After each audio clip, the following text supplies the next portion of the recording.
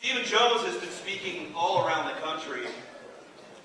Uh, you know, I think uh, sometimes we lose ourselves in the memory hole, and we forgot what it was like when we didn't have a major physics professor like Steven Jones uh, and the Scholars for Truth validating and legitimizing a lot of the research that can be done and is being done on the corpse, okay, the footprint in New York City, and that's the World Trade Center towers. Now, thanks to Professor Steven Jones, we have literally some of the first forensic evidence to take this to trial, to ask questions, to get subpoenas. And I'd like to see people rally around that.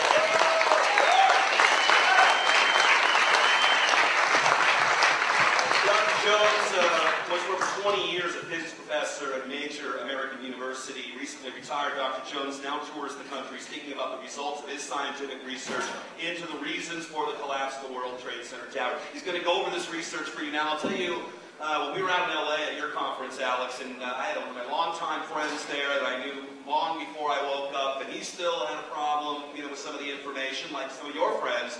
And he went, he saw all the great speakers in Los Angeles, and when he saw Dr. Jones speak, he said, This has done it. Now I want to know the answers to these questions. And I think my family will want to know the answers. That this is the research that's going to wake up my family. And that's extremely important. Uh, you can't say much more for somebody who has sacrificed his career, his well-being, his reputation, allegedly, uh, to lay it all on the line to get to the truth, to get to the truth of 9-11. And I'm just so honored once again to introduce one and only Dr. Steven Jones.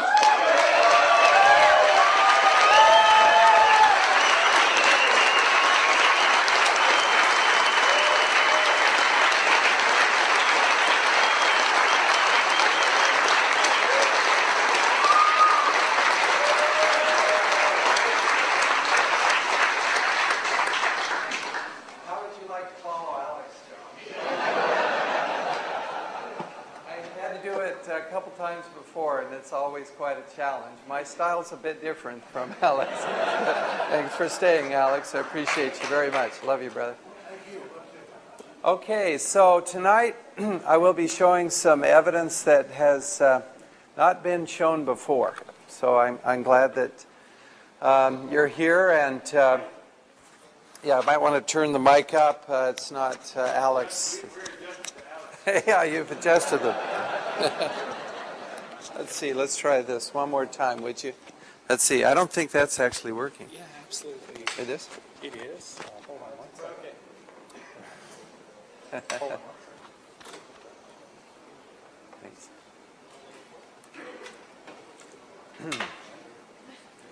ah.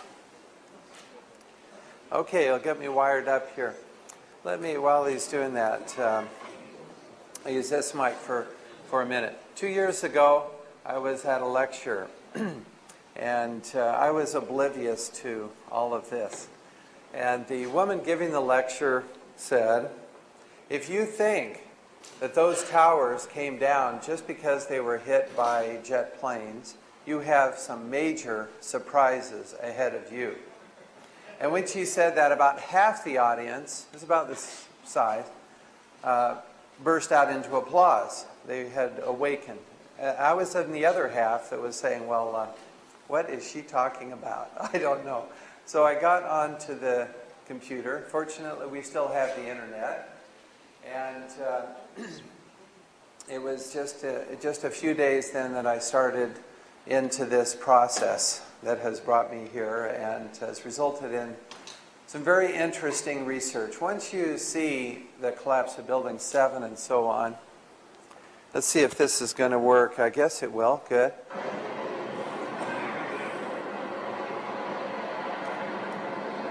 I'm going to take off the sound for a minute there. Building 7 on the left. Uh, once you see that coming down in the way it does, then I timed it and compared it with controlled demolition, which you see on the right.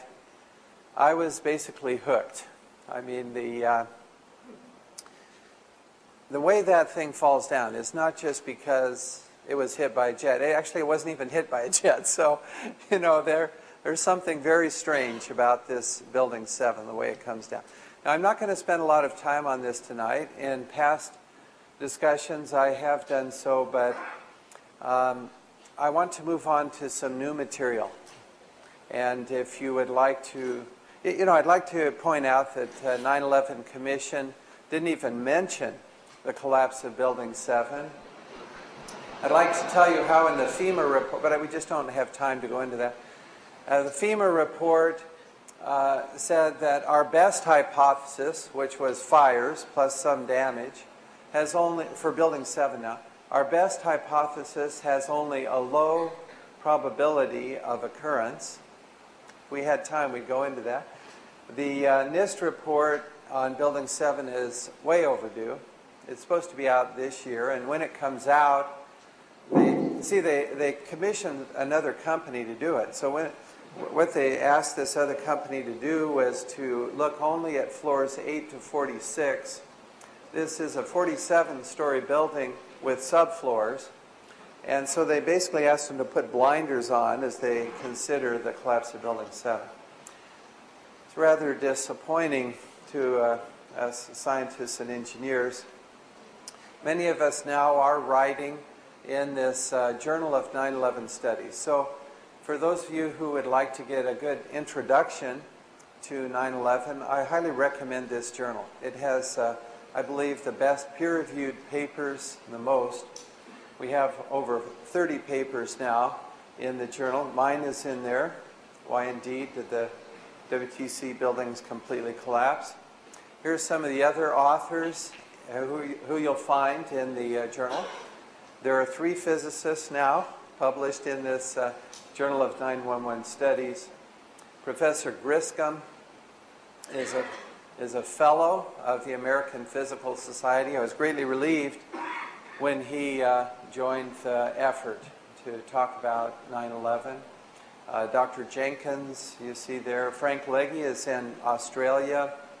Uh, Joseph, Joseph Firmage has written a very nice paper outlining uh, 42 different events related to 9 11 and comparing the, uh, good, comparing uh, LIHOP, if you know, uh, Let It Happen on Purpose with MIHOP, with the official conspiracy theory that 19 hijackers were able to pull this thing off. So he compares those three theories against events. Very well written paper. Uh, and uh, uh, James Gourley and Greg Roberts are here. You guys are you here? Stand up. There's Greg. And where's James? James is back there. So, you know, it's not just me or Alex or Webster or, you know, there's a lot of us now uh, working in this field. I enjoyed all the talks today, by the way. Now, um, by the way, J- J- um, Greg Roberts has brought, his paper is available for a small fee and will help the conference finances. So I appreciate his work on that. So, part one, there's two parts. One is the uh, flowing orange hot material, of which I, I did. You could speak up somehow because it's echoing and you're, you're not very loud. So if you Oh, is it? Move it, I would think would be a good. Professor Jones, let's just get it working right and you can start. Yeah, This is where we're starting, yeah.